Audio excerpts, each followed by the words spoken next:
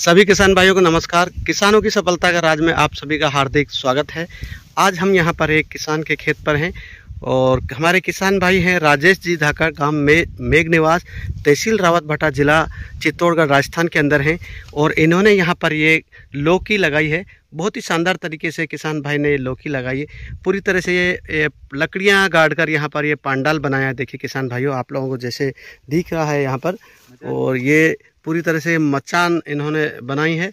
देखिए जाल लगाए हैं फिर तार लगाए हैं और उस पर इस टाइप से इस बेल को चढ़ाया है। और हमारे किसान भाई हमारे साथ में हैं।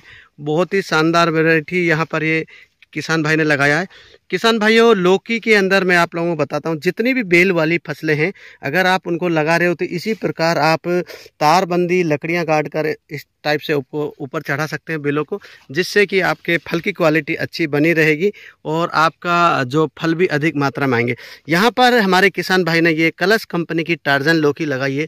तो ये लौकी बहुत ही शानदार वेराइटी है, देखिए किसान भाइयों, आपको ये पत्ते पत्ते पे ये आपको प्रत्येक गांठ पर आपको ये लौकी नज़र आएगी। देखिए, ये आप जहाँ से भी देखोगे, यहाँ से अपन स्टार्ट करते हैं, ये लौकी यहाँ पर आ गई इस गांठ पर, फिर यहाँ इस गांठ पर ये लौकी है, इधर है इधर है इधर है।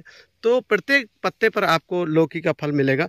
किसान भाइयों, अगर आप लौकी की फ़सल में ज़्यादा उत्पादन लेना चाहते हो तो आपको विशेष तौर पर ये ध्यान रखने का है, जब आपका पौधा आठ से दस पत्ती का हो जाए तो उसका जो ऊपर का सिरा है उसकी आपको कटिंग कर देनी है, जिसको थ्री जी कटिंग बोलते हैं, जिससे कि आपको उससे सेकेंडरी ब्रांचेज जो आती हैं, जिनके अंदर फीमेल फ्लोवर ज़्यादा होते हैं और आपको प्रत्येक पत्ते पर आपको फल प्राप्त होता है। तो उस टाइप से आपको बहुत ही शानदार क्वालिटी प्राप्त होगी।